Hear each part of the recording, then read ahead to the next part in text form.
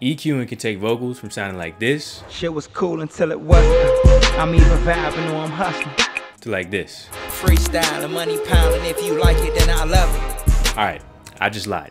I did more than EQ to make that vocal sound like that. But EQing is still one of the most important tools you have as an engineer. Every sound, especially someone's voice, is a combination of low, mid, and high frequencies. EQing or equalizing makes those frequencies higher or lower depending on what you need to make the clearest and cleanest sound sounding vocal. This is an EQ. This is Neutron. It's one I like to use.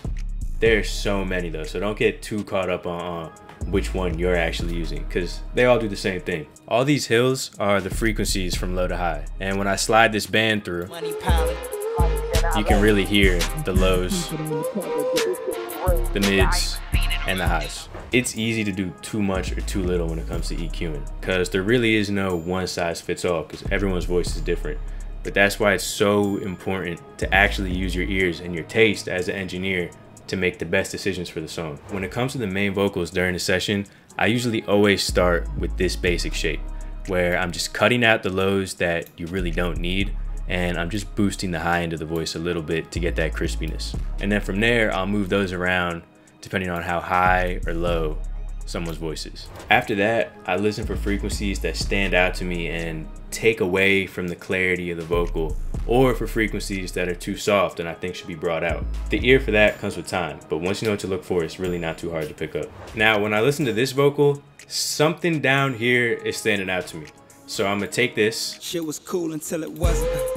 I'm even vibing or I'm hustling. And there it is right there. And obviously you can see it on the graph where that part's higher, but really use your ears and actually listen to what you're to what you're looking at. So right here, like I would go through and just dip that a little bit. And then for frequencies that are too quiet, you would do the opposite and then raise those to make them louder. It's so easy to do too much when it comes to EQing and to hyper focus on every little thing. The principle I like to follow is less is more. I really try to get the vocal sounding how I want with as few moves as possible.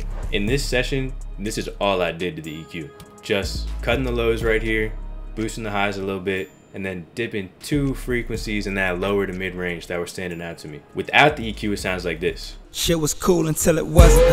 I'm even vibing or I'm hustling. And then with the EQ. Shit was cool until it wasn't. I'm even vibing or I'm hustling. It's clear, it's crispier. I'm taking out the parts we don't need and I'm making the parts that we want more of a little louder. That's that with EQing. Really take your time and make sure you're not doing too much and getting too wrapped in with the smaller details. And then really use your ears and trust yourself and your taste. Next video, we're getting into compression.